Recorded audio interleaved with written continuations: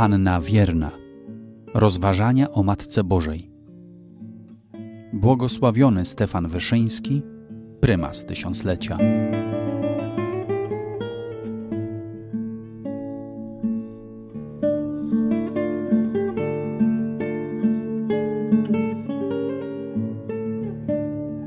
Rozważanie pierwsze. Panna wierna. Wierność miłości. Żaden, co przykładając rękę swą do pługa, wstecz się ogląda, nie nadaje się do Królestwa Bożego. Z Ewangelii według świętego Łukasza. Wzywamy pokornie Twojej pomocy i miłosierdzia w walce o dochowanie wierności Bogu, Krzyżowi, Ewangelii, Kościołowi Świętemu i Jego pasterzom, Ojczyźnie naszej świętej, chrześcijańskiej przedniej straży. Tak brzmi naczelne przyrzeczenie jasnogórskich ślubów narodu. Naczelne. Nie tylko dlatego, że umieszczone na czele wszystkich, które po nim następują, ale przede wszystkim dlatego, że je właściwie wszystkie streszcza, wszystkie w sobie mieści. Jest zarazem najbardziej podstawowe i najbardziej rozległe. Kim jest ta przedziwna istota, której pomocy wzywamy w dochowaniu wierności naszym jasnogórskim przyrzeczeniom? Wybraliśmy ją na nowo królową i panią naszego życia i naszej drogi do Boga. Cieszmy się i radujmy, bowiem jesteśmy w tym bardzo zgodni z mądrością przedwieczną, która zamierzyła dokonać dzieła odkupienia całego świata przez tę dziewicę niepokalaną.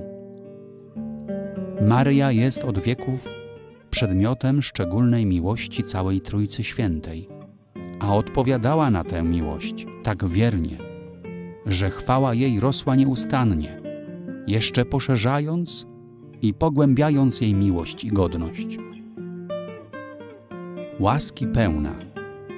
Przemawiał do Maryi Archanioł Gabriel i wtedy, gdy jeszcze nie dokonała się tajemnica wcielenia – jest wiele tajemnic maryjnych, które w naszych rozmyślaniach często pomijamy.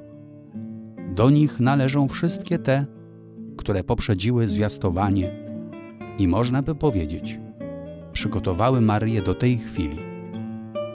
Maryja była obdarzona łaską od początku swego istnienia. Ojciec Niebieski przygotowywał sobie świątynię pańską – od chwili, gdy Maryja kształtowała się w łonie swej matki. Pierwej święta w żywocie matki, niż zrodzona była Maryja. Jak w godzinkach śpiewamy radosną duszą, patrząc na piękno zdziałane przez Boga Ojca. Ten, który króluje w Trójcy jedyny, Bóg, wybrał ją sobie, aby godne mieszkanie synowi swemu zgotować. A Maryja od zarania życia – całym swym bytem, całą duszą zwracała się ku Bogu.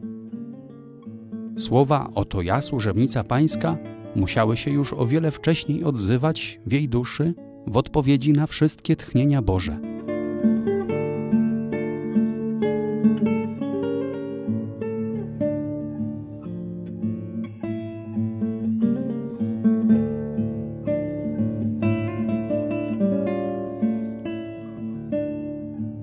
Pierwszą taką odpowiedzią było jej ofiarowanie się w świątyni. Takie ofiarowanie jest zawsze pierwszym krokiem na drodze wierności, pierwszym ogniwem łańcucha, o które dalsze się zakotwiczą.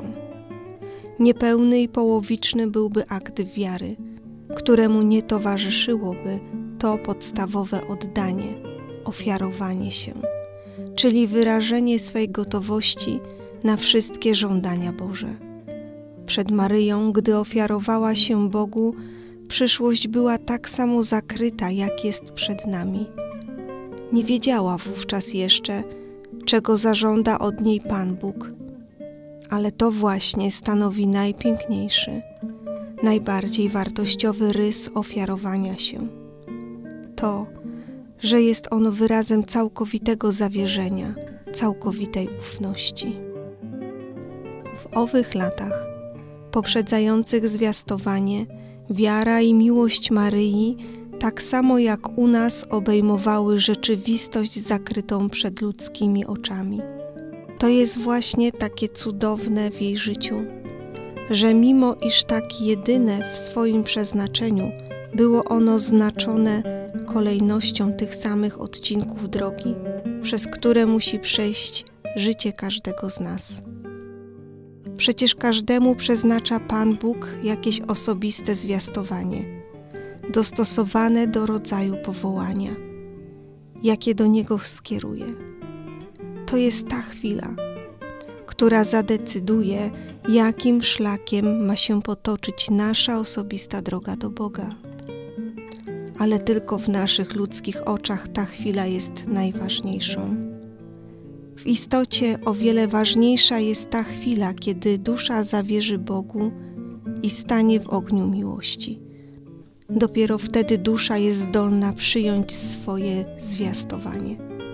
Dopiero wtedy potrafi je usłyszeć, rozpoznać, zrozumieć.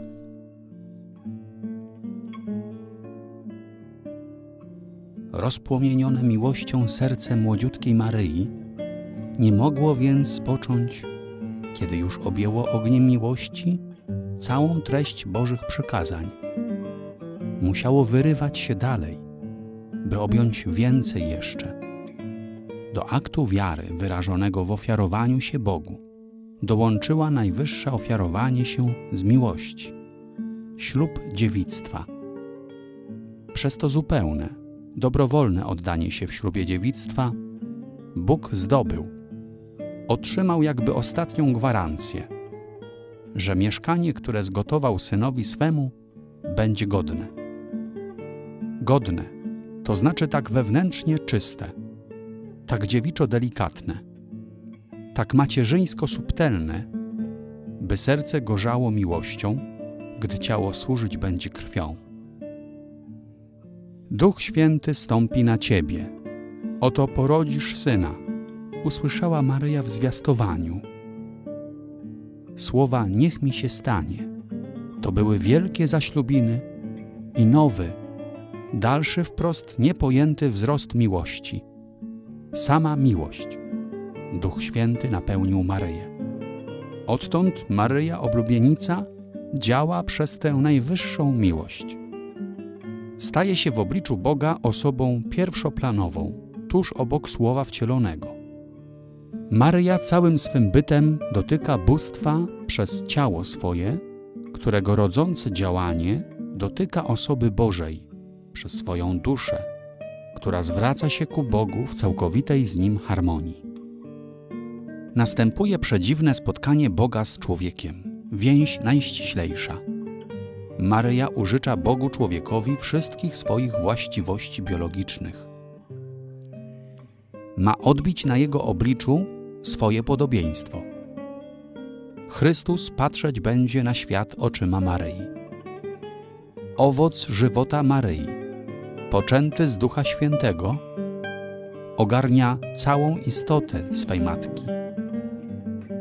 Maryja rozpoczyna wielką służbę miłości, która wiernością swoją sięgnie aż do stóp krzyża, aż do kamieni grobowych.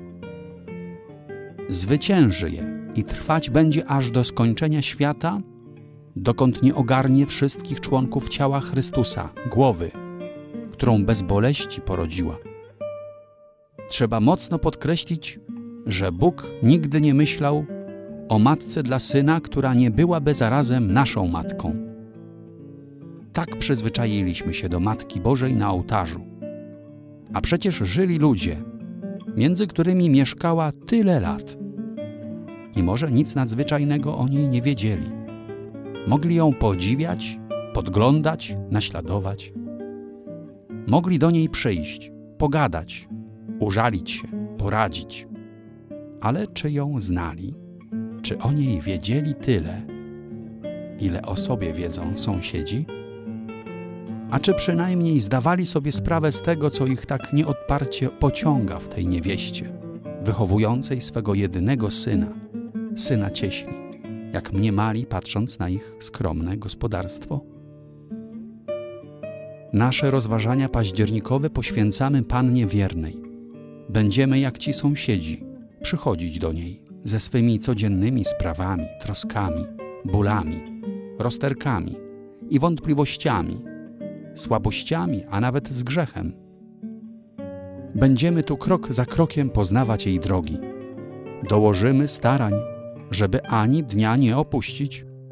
Wkroczymy i pozwolimy się jej pociągać na te szlaki prawdziwej wierności Bogu, Chrystusowi, Jego krzyżowi i Jego Kościołowi. Maryja nas nie odtrąci. Ona jedna nas naprawdę zna i rozumie. Będziemy tu przybywać, aby spojrzały na nas te oczy, które widziały dzieje miłosierdzia Bożego nad rodzajem ludzkim. Widziały słowo, które ciałem się stało. Widziały dłonie Boga obejmujące człowieka. Widziały życie Boga człowieka, jego pracę, trud i pot. Widziały jego mękę i chwałę. Oczy żyjące miłością, najbardziej macierzyńskie. Przez swoją obecność w niebie Maryja pociąga nas za sobą. Domaga się swych dzieci, sprawuje w niebie macierzyńskie władztwo, a na ziemi buduje królestwo maryjne. Stale jesteśmy ogarnięci łonem jej opieki, zarówno święci, jak grzeszni, gdyż w nas wszystkich Maryja widzi Chrystusa. Amen.